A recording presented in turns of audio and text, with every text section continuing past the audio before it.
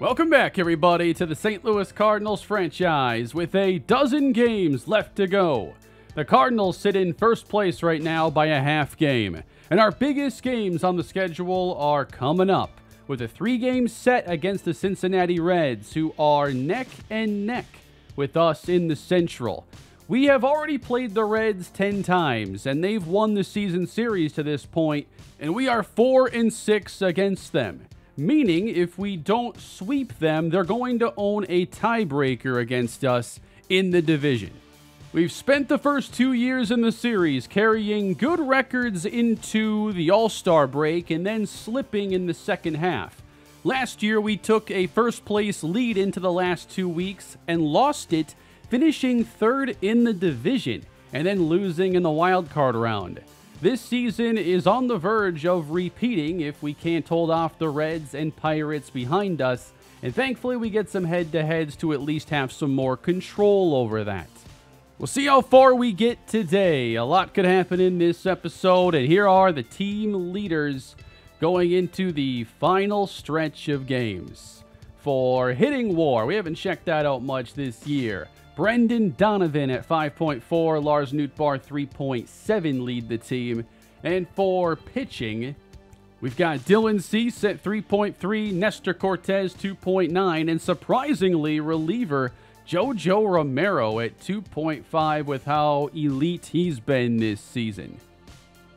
Before we begin, by the way, I did look through some info and updated Mason Miller's velocity but I can't edit his fastball velo to go north of 99 on average. I was also able to edit Michael Kopech to give him a better fastball, and then I edited his pitch mix as well, as his conversion has changed up what he throws. He doesn't throw a curveball anymore, and the cutter has become his third pitch. I took the velos straight from Baseball Savant to update these guys. Thankfully, our Cardinals have began to turn things around lately with five straight wins, ending the road trip strong. In our last game, ooh, four to one late innings against the Tigers. Cardinals hold on and make it six straight wins. Dylan Cease does what he does, seven more innings. We go past the off day of Monday, and now it's a game and a half lead over both Pittsburgh and Cincinnati. Final home games now. We open against the Phillies, and we start off 4 2 Philly leads in the late innings. 27 homers now for Nolan Arenado on the year, and a two out, two on scenario against Gregory Soto. Flied on the first pitch, out to right, looks playable, and caught. Mason Miller pitching to Johan Rojas and hitting 99 on that fastball. I did see he was averaging 101 on his on Baseball Savant. His pitch mix has also changed. I didn't edit his, partially because I'm not sure if his current role in the bullpen in real life is going to be temporary, if he ends up going back to being a starter one day. But I think he'll be a bullpen pitcher in this series, probably the entire way. And actually, in real life, he's just been a fastball slider guy, not even throwing a third pitch. But I can't make his fastball quite what it is in real life, so I'm always caught between trying to update things to match what players are throwing now versus just accepting our franchise is kind of in a different spot. Three and two to Harold Ramirez, and he takes the low slider. We'll go fresh arm here with Matthew Liberatore, the lefty who's been solid this season. Bryce Harper is the batter. And then Bohm behind him, who mashes lefties. I forget, is Liberatore the pitcher who gave up that big homer last wild card to Harper, or was that a different lefty? This time works so much better. We don't throw him the changeup and we strike him out. See if we can pitch a little carefully here to Bohm. He's already three for four. Has the ability to put this game more out of reach. And taken off for second base. Contreras will not make the throw in time. And the weak ground ball goes right to Donovan. And we'll go bottom nine, trailing by a pair. Matt Strahm coming out, a 1.7 ERA. Righty's hitting 191. And we'll try to get a rally going late. Who knows which of these games could determine if we win the division or not. Oh, of course, he's going for a milestone as well. He has 99 career saves. Jordan Walker, one for three. Three and one. If we can get that leadoff man on, we can threaten to tie the game. Got a feeling we'll get a fastball to hit here. And it's away for strike two. A patient approach. And now a walk. Willson Contreras now with Walker at first. And Strahm's been a little erratic so far. A lot of these takes pretty easy. And I got to make sure I'm letting stuff like that go early in the count. Fly ball right center. That's going to stay in the park and be out number one. Livan Soto. Is this a spot where you want the rookie? I think we got to go Mason Winn. It worked out for us last episode. Brought him in, pinch hit against the lefty. Boom, two-run homer. We're looking to see if Lightning can strike twice. Cold zones, though, those are not uh, promising. And a fastball goes right down the center. Reds currently, I think they just won over the Brewers, so their game is close to done. So far, patience the right approach against Strahm. Count is two and one. That one hit him on the hip. We got two aboard. We're bottom nine. And it's Victor Scott. We know he's a tough guy to double up. We're going to leave Scott out there for this chance. Strahm, 14 pitches in. Now a strike on the inner third. And now Strahm's got his first 0-2 of the inning. And strike three, fishing at the slider low. So Donovan will have the lineup turnover, and here we go. That's inside and came close to hitting him. And at the top of the zone, it's fouled off, and we're down to our last strike. And Strahm's 23rd. Just a piece of it. That's strike three. Did not see it well, and that is the end of the game. We create a threat but can't come through, and the winning streak ends there. Again, bulk of the offense supplied by one of the newest Cardinals.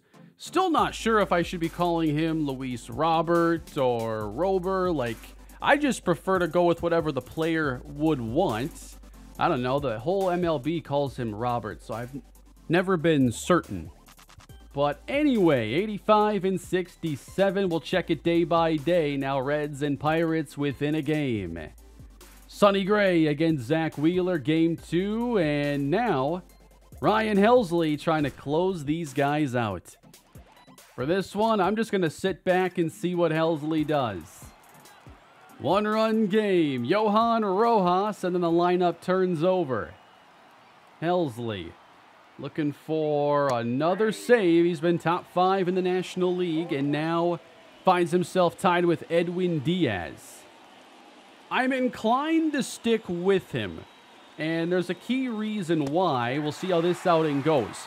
Early in the year, I talked about his not even early, but earlier, he was having like a 1.5 home run per nine. And over his last like 20 innings, he's yet to allow another home run as he strikes out Rojas. So now his home run rate is in line with what it's been in years past. If he's still getting strikeouts and now the home runs are going down, I think he's getting back into the right form. But now Trea Turner and the top of this lineup after Trea, it would be Harold Ramirez. So thankfully Harper's hitting cleanup. Outside of a disaster, we shouldn't see him. Trea Turner takes a fastball at 100. 102 to get that second strike. Got him on the slider, and Helsley's one out away. Now Ramirez will look to extend the game. Drifting outside a slider. Reds won again today. So at the moment, they're tied with us. We can pull back ahead with one more out. Fishing at 101.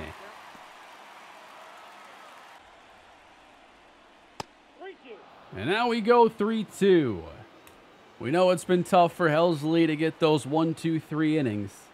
Pirates won their game as well. We could be looking at like a three-way tie. 3-2 and still battling. In play and right at short, it's Soto to finish things as the Cardinals win it and hang on to first place for another day. A couple things on the ticker caught my attention I want to go check out. The big bats, that's what we like to see. Multiple hits for Walker, Robert, Nootbaar. But one thing I noticed with the White Sox, we haven't talked about them much. Garrett Crochet, with his last start, became a 20-game loser. ERAs aren't looking great, and yeah, has not been that dominant in the series. The next thing I saw was something about Ohtani and a pitching outing where he didn't have a single out. So I wasn't sure if he had gotten hurt or anything, but doesn't seem he's on the injured list. Final game against the Phillies. 3-3 late innings. This one belongs to Philadelphia. All these games very low scoring, and they put up a run in the ninth off of Hunter Harvey, who I think has. I don't know if it's right to call his year a disappointment, but it, it seems like his low lights have been really damaging. And that puts us a half game behind Cincinnati and Pittsburgh. Here we go, with eight games remaining. We need the offense to get hot. We need the best bats to step it up. And we're going player lock now with Nolan Gorman, who leads the team in home runs and I believe RBIs. So we'll see if we can get some runners aboard for him here in this game. And his first at bat will end up leading off the second instead. 33 home runs, 93 RBIs. It's been a really good year for him. One of the few players on the team who has had more of a career year now as opposed to last year. Fly ball hit into right field. Traveling back, but in the park for out number one. Pirates won an extra innings against the Mets. This is going to be a fight to the final day, it feels like. Pirates just won seven straight. Meanwhile, we have a shutout in the works. Brandon Williamson having a good outing. And now one on for Gorman. That's going to center on a line and caught. Couple good pitches to work with, but two flyouts for Nolan Gorman. Tink Hence going toe-to-toe -to -toe with Williamson. Shutout through five. And it's finally broken up with the bottom of our order helping get things going. A double from Mason Winn. So as we go bottom six, a runner on for Gorman. That's what we're looking for, but two out in front. Gorman facing a 3-2 count. Popped up late on the fastball. And Nolan Gorman now 0 for 3 on the day. A lot of low-scoring games lately. This one no different. We'll see how deep Hence goes. He is not someone that's gotten a lot of complete games, but this might be a chance. Is Marcus Stroman relieving now? That's what it appears. 1 nothing. Got us to wave at the sinker there on the first pitch. I've disabled player lock now. And we'll see what the ninth inning gives us. Fly ball, deep to left, back on it, and oh, it's gone! A two run shot the other way for Nolan Gorman. That's two closer to 100 RBIs on the season and a very big home run. I was just looking for something not down that we could drive. And finally, we got it.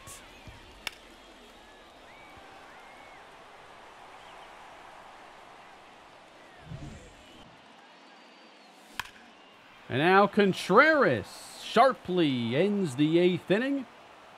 And we hope we won't grab a bat the rest of the night. Tink Hence going for a complete game shutout. Maybe I just let him do his thing here. He's done eight innings without me. I know in the A's franchise, I probably screwed one too many of these up, and Spencer Steer is going to end the shutout on that one. That's 110 off the bat. Thank you for a great day, Tink Hence. That'll be enough for this game, I think. And he will be exiting after another brilliant game. And here comes Helsley. Elly De La Cruz and a fastball hitting the corner at 100. 101. Cincinnati down two and a full count. And not a guy you want to be walking here. Lifted. Scott Manning center is back and gloves it.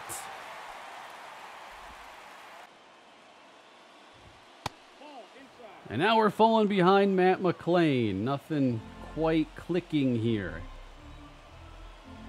And a four pitch walk will bring up the tying run for Cincinnati.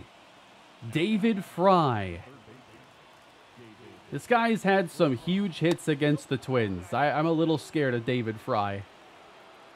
I believe I'm thinking of the right player. Fry's behind it, 102. And got him at 89. I wonder, like, is it actually good practice? I'm not sure if anybody here would be able to know. But let's say you could face a pitching machine who would throw even faster than an MLB pitcher would, and you could practice against 105. Is that what you got to do to be able to like get some reps against stuff like this and to get better at it? Like I don't even know how you approach having to hit a 102 or a 103. Got him looking. One, two, three. And that at bat anyway and St. Louis picks up a huge win over Cincinnati. All season long, the starters have been going deep, giving us a chance to win games just if we can scratch across a couple runs. And that's what happens here, thanks to the late Gorman home run. 10 strikeouts, 8 innings for Tink Hence. We move a half game above Cincinnati, but the Pirates are alone in first with a 9 1 record in their last 10. And the way things are looking with the wild card standings, one of these teams is gonna miss out. The Cubs might be too far out with a four and a half game deficit. Between the Pirates, the Cardinals, and the Reds, one's gotta go. And we gotta do whatever it takes to make sure it's not us. Game two against Cincinnati. We got Dylan Cease taking the mound today. Whenever he's starting, you feel like this is a game we're going to win. 14 and 9. He has lost a fair amount of his starts, but a 3.16 ERA and a 1.15 whip. Let's get this one underway. And we got a pair of singles, a walk, and Arenado clears them with a double. Excellent first inning. 3 0 lead for Dylan Cease after one. You like your chances there. And we got Jordan Walker getting the player lock treatment this time as we go from the City Connect uniforms to either alternate or uh, older. I forget. These might just be alts. We will try. Late on at 93 at the top of the zone. Home run! Jonathan India gets the Reds on the board as we'll go bottom three. That's down the line. A fair ball into the corner. And Walker will have a two out double. That was 109. It's all up to Contreras now, and he strikes out to finish the inning. 3 1 game. Dylan Cease, meanwhile, gets out of the fourth with no more damage. Then a one, two, three, fifth. We got a Luis Robert home run. Victor Scott doubles home a run in the sixth. The pitching was dominant for us in the first game against the Reds, and it's repeating in the next. Ashcraft now in. It's a 5 1 Cardinal lead. Arenado on first for Walker. We'll take the cutter away. And late on that one. It's going to be an easy pop out for Josh Naylor. Mason Miller's in the game now, and he's striking everybody out. Ninth inning, Mason Miller just got six straight strikeouts to finish the game, and the Cardinals take the first two in this series, which means the final game will give a season series winner and a tiebreaker that might decide who is the odd team out. We're going to keep trading spots in the standings, it appears, and the Cardinals move to 88 and 68.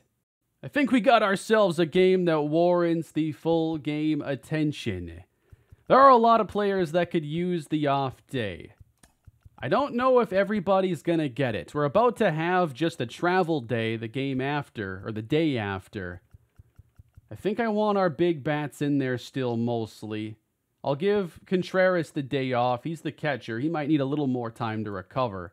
And with Victor Scott kind of struggling, I actually like the idea a lot here of letting him maybe pinch run late in this game instead and giving Norris Sullivan the start. Okay, Arenado needs the day off too. Okay, Luis Robert, I guess everybody's getting the off day now. So this is going to be a little bit trickier of a game then. We're facing a good pitcher in Hunter Greene. It's one of the biggest games of the year, and we're going to have to make sure a lot of these guys sit. Give me Tommy in left today, and then instead of Jo Adell, we'll uh, make sure it's Tommy and Mason Winn in the lineup today. Game of the week, indeed. Last home game of the year, last head to head with Cincinnati. If we win, our odds of making the postseason are so much higher. If we lose, that could be a devastating tiebreaker and would pull them to within a game of us. And we still have two against the Twins on the road and three against the Pirates. And that's going to be tough to win like three or four of those games. Pittsburgh's 9 and 1 over their last 10. This is what you want to see intense baseball down the stretch. And Corbin Burnes, the 2021 Cy Young Award winner, takes the mound. Elly De La Cruz leads things off, and we're underway in the rain. We'll see if a possible rain delay impacts this game. We're already having to use more of the bench. Could be all hands on deck in the home finale. I'm already hearing thunder, by the way, so that leads me to think we're going to see a delay sometime. But we're starting 3 and 2 against Elly, and he spoils it. Got him! Nine pitches and a strikeout. Buy him at 95. Corbin Burnes 0-2. That is in the dirt. Really enjoyed my last game with him in the previous episode. And we got two strikeouts to kick this one off.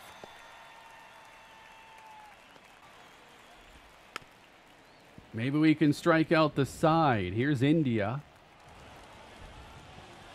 He got him. Three strikeouts in the first. We could see a lot of them today. As we got Burnes up against Hunter Greene. Greene comes in with a 26% strikeout rate. We'll see how much of a challenge he is for a lineup that is not complete. A lot of guys are on the bench today. Brendan Donovan starting us off. The average climbing again, but India will spoil this one and then screws it up with an error in E4 to get us started. Wow, Lars actually has the highest average for us this season. Could Lars finish with a nice 300 average? There's a look at the slider. That is pretty nasty. Wow, the Reds are currently fifth in the wild card right now, and that's a good record. That's respectable. Like, there might be a 90 win team that just doesn't make it, even with an added wild card spot. Three and two on Lars, with Gorman and his power awaiting. It's ball four. An error and a walk as we go to Gorman.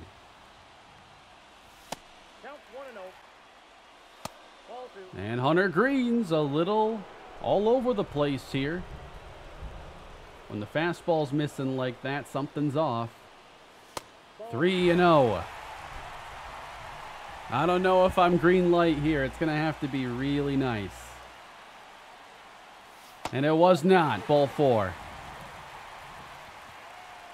What a chance in the first. Jordan Walker. Fly ball into the gap in right center. That's going to get down. Everybody go.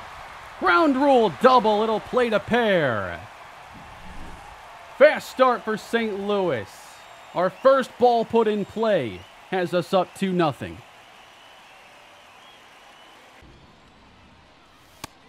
I haven't seen those like win percentages a whole lot in this game. Like the scoreboard, I think showed that all the time in the previous game. I liked seeing that.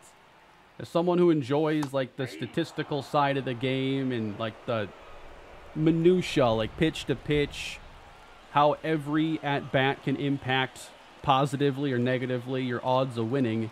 I wish that was always available. It said after that we had 81% chance of winning. Tommy! Oh, that was only strike two. Not going to be content with two here. I need one more. And not going to get it on that.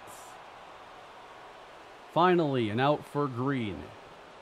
And this is where it gets interesting. Six through nine are all regular backups. But Mason Winn has had his moments this season. And he's been hitting the ball hard, which I'm not sold on him being the shortstop of the future, but that's one thing that gives me a little more hope. 98 and a strike. Wow, filthy slider. That's a devastating combination when he can locate. Strike three. And then Ivan Herrera, who's actually done great this year. Very impressed with him. And Greene Slider is starting to, I think, establish some more confidence. We're just looking for a line drive up the middle. There's plenty of space. And the changeup is broken out to end the inning. Could have been a whole lot worse for Hunter Greene. And here's their big deadline acquisition, Francisco Lindor. In my notes, by the way, as this is hooked to right, Nootbaar back, makes the catch. They just showed the home plate umpire. It's Dave Lawrence.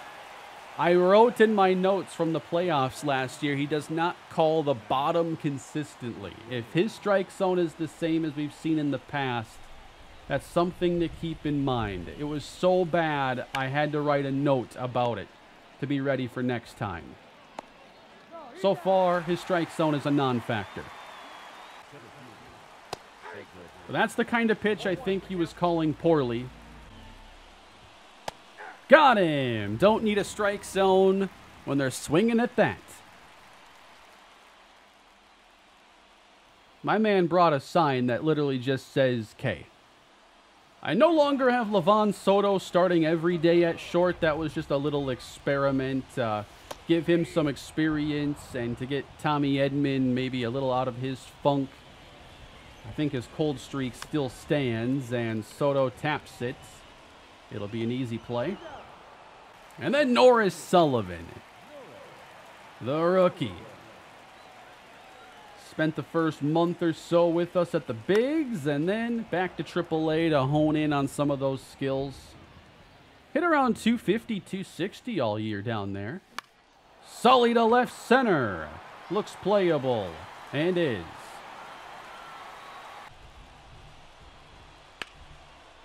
On a line to Sullivan. He's getting center field today. Corbin Burnes off to a very strong start. He almost gets Candelario on three pitches. Flips it. Edman is over. Should have space. Two down.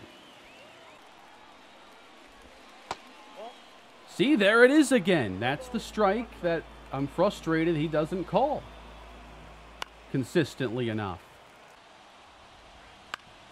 Weekly hit, Soto playing third, and that's a perfect first trip through the order. A drive in the air to deep right center. That's back, and that is caught right in front of the fence.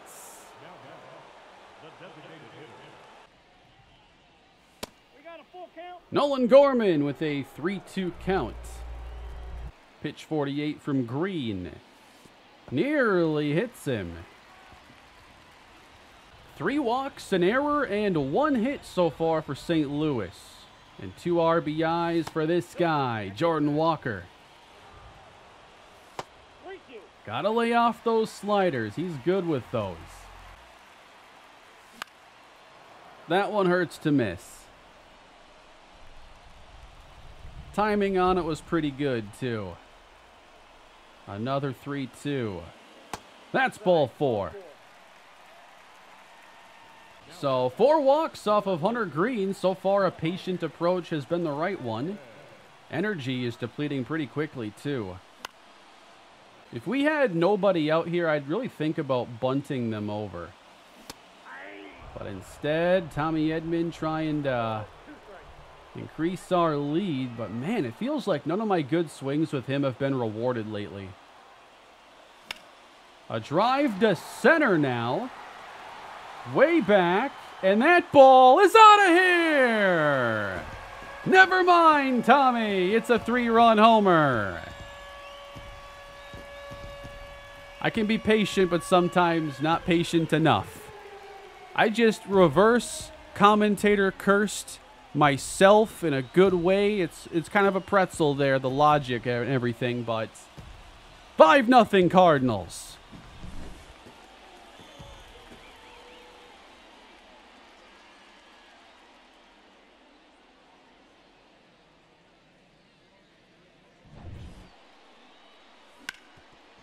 And now Herrera's got a sharp one through the infield, and that's our first single of the game.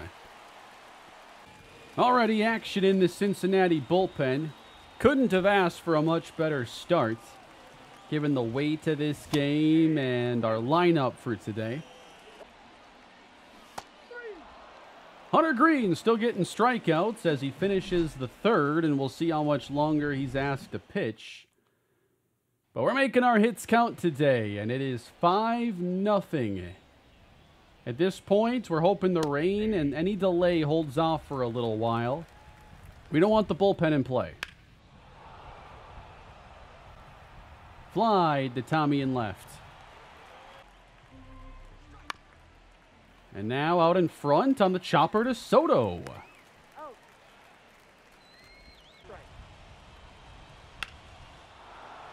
That's the first hit of the game for the Reds. It's Jonathan India with two gone. And now Lindor softly, and he's out at first.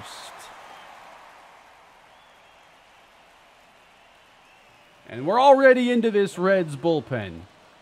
Just three innings for Hunter Greene. And now we're getting Marcus Stroman. And he hits the first batter he faces. Norris Sullivan on first base. And hopefully that's temporary. He is in there with a steal. And Sully's got his second stolen base in his baseball career. Whatever it takes to pull that ball, I guess. And now hoping Lars can bring home that sixth run. Nope, not like that. Having trouble, obviously, reading his slurve. I've had a couple awful swings on it. And that was the one I wanted right there. Right center, Gorman's trying to split the gap, and it's run down.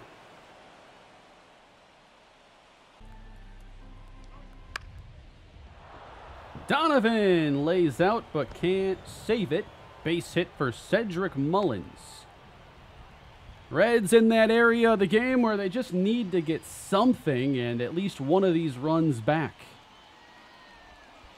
Christian Encarnacion Strand now at the plate. He's got some power.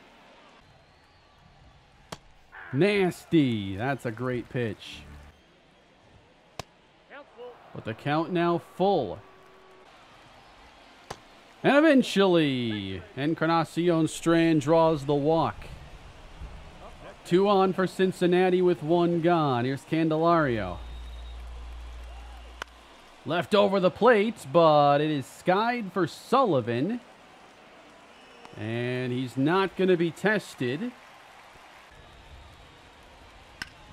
And a fly ball hit to right center. A couple reach, and they're stranded. Right center, Walker gets behind another one, and that ball is run down.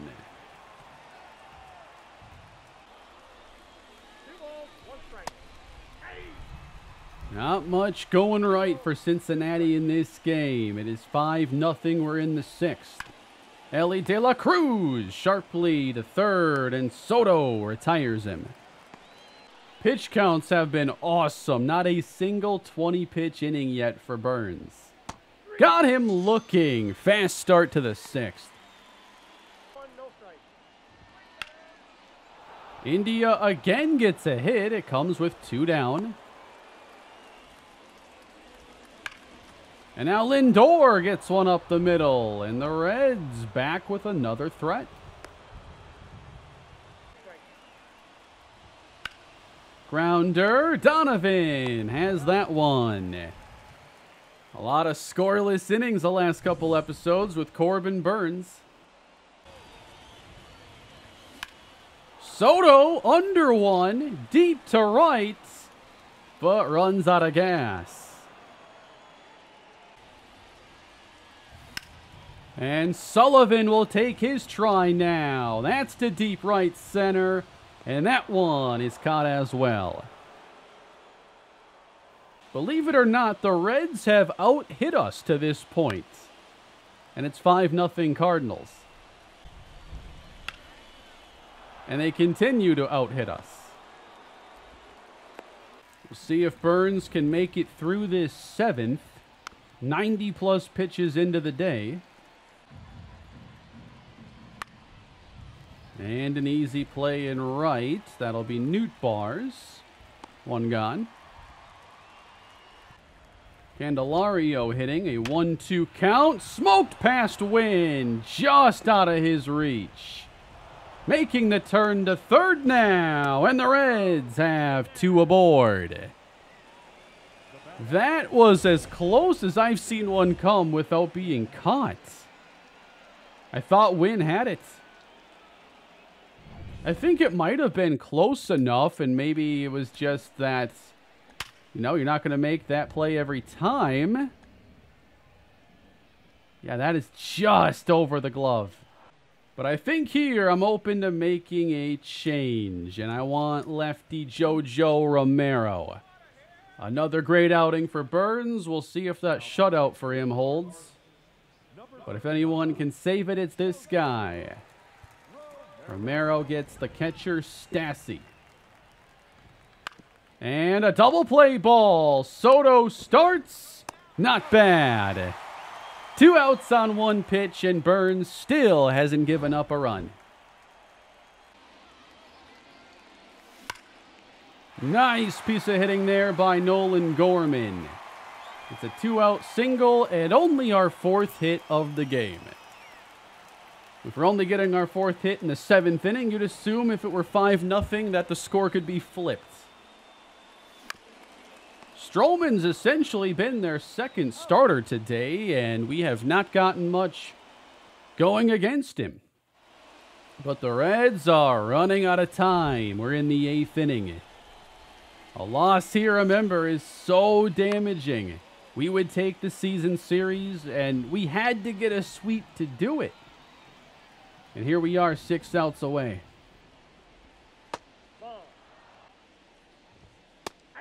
Ninety-six and by him. No rain delay yet. The Thunder kind of playing tricks on me. That's fly to right center. Newt Bar is there. Trying to bury this one inside and a miss strike three call on the slider. There we go. That'll do.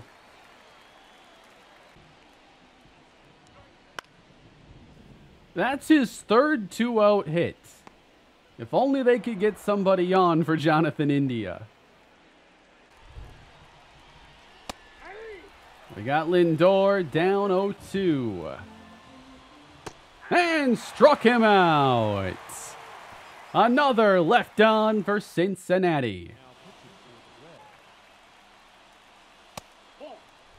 Why'd I ever doubt you, Tommy? Big three-run homer earlier gave us some comfort. Tommy Edman will reach with a walk. 0 for 3 and 3 strikeouts for Mason Winn. And we've gotten a couple here that he hasn't been able to do much with. And then fishing. Just haven't had good two-strike swings with him. That's frustrating. Oh my! Deep to left, 114! That's way out of here! 464, one of the biggest home runs of the entire franchise, belongs to Ivan Herrera. That came out of nowhere. He might be our secret weapon this year. He's been great off the bench. What's he doing hitting one 460 like that? My God, what a swing.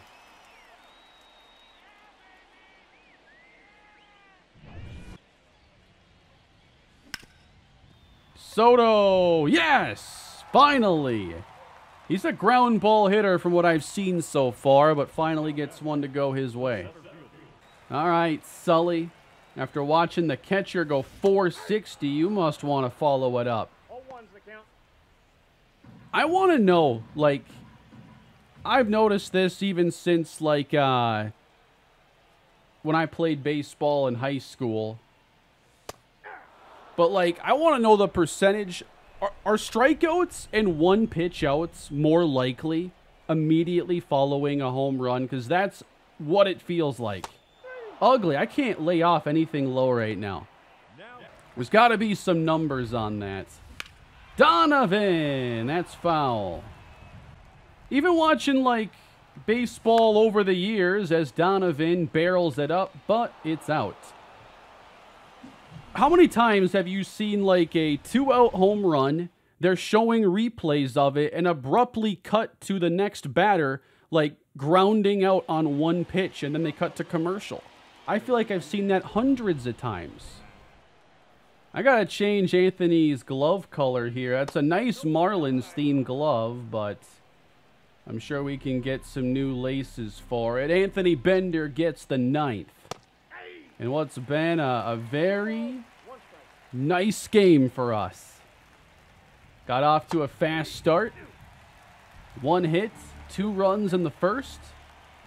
And then Tommy goes deep. And we never look back. So I believe we'll have played four series against the Reds this year. And unless they're about to come back from a seven run deficit, three of those series will have resulted in sweeps. These have not been very competitive individual series as Mullins gets a hold of one and the Reds are on the board. Hey, I just watched the Twins have a seven run ninth inning. This isn't over. Unfortunately for the Twins in that game, they were down by eight. Back to back. Encarnacion Strand. Solo and way gone. There's two. Well, after dominating so many innings, we were bound to give up some runs. Just happens to go against Bender. So we'll bring in Hunter Harvey before things get too interesting. Three and one. Come on, guys. Two homers and now a walk. Last stand for the Cincinnati Reds in this series. Stassi already grounded into one double play. All right, come on. Ground ball through the hole and four consecutive reach.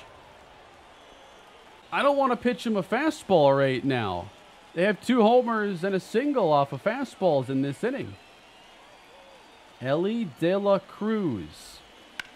Oh, that's flipped. Edman can't make the catch.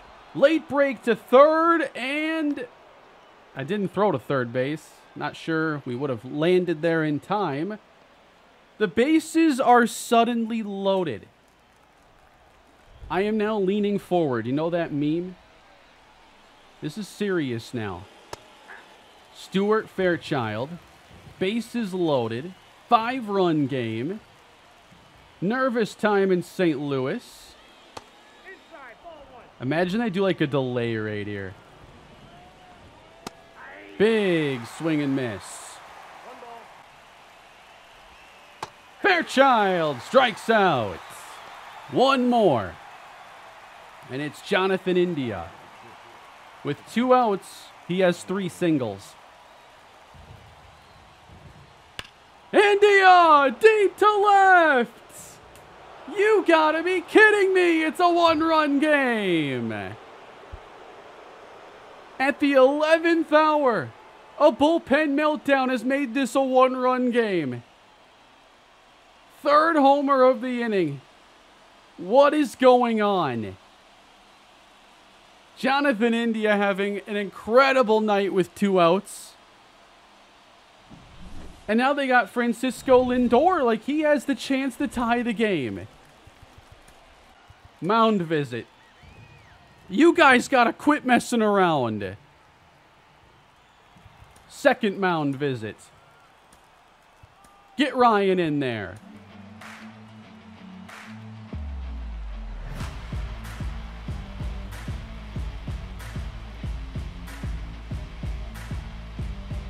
And what's been one of the most shocking innings of the series. The Cardinals lead by just one.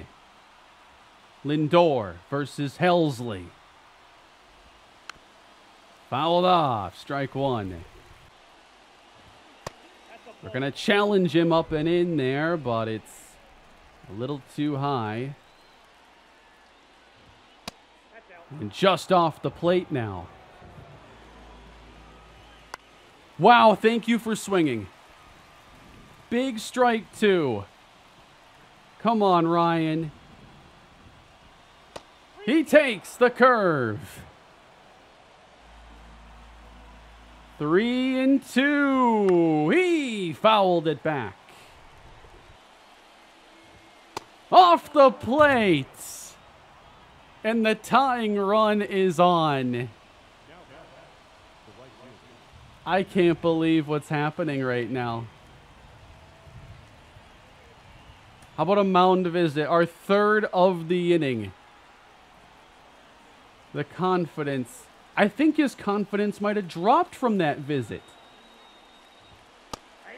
101 and a strike. The first 26 came rather easily. Number 27's been elusive. Wow, took it over the middle. How are they fouling this pitch off? Blocked by Herrera. He struck him out! We earned that one. That was exhausting. This was supposed to be simple, guys. 7 nothing in the ninth inning. You let them come that close. We sweep the Reds and significantly damage their playoff hopes. 12 hits for Cincinnati to our six. And they put up all their runs in the ninth inning. This is the kind of game where if you simulated, you're like, why are they getting six in the ninth inning? Simulating is so unrealistic and ridiculous. I can hardly believe we played that. So that uh, two-run homer for Herrera late ended up being a pretty big deal, right? That is a huge win. Biggest win of the season right there. We'll sim past our off day on Monday, the travel day to Minnesota, and then to Pittsburgh for our final five games of the season. But we end today's episode up by a single game. So, regardless, this is going to come down to the last series. Whether it's needing one to clinch or maybe game 162 ends up mattering. The Pirates are about to play two more against the Marlins. They lost the first game. And as a little preview here, Skenes and Keller pitched the first two, so Blake Snell, Johan Oviedo, and game 162, if it's important, will be Mitch Keller and Corbin Burnes. We get Hentz, Cease, and Burnes in that series. I feel very good about having them face the Pirate Bats. The Reds are currently out of a playoff spot by a game and a half. The Pirates would hold the final wild card in a tie with the Diamondbacks. It's looking more and more like a 90 win team is gonna miss. But we took care of business against Cincinnati the way we needed to. And next episode, we look to finish the season and crown a new NL Central champion. It'll be somebody brand new in the franchise. And we're hoping it's us this time. Thank you for watching today's episode, a thrilling one, in our first full game in a couple episodes. Leave your thoughts down below and please smash that like button and subscribe to the channel for more Cardinals franchise action. Have a great day and I'll see you next time, everybody.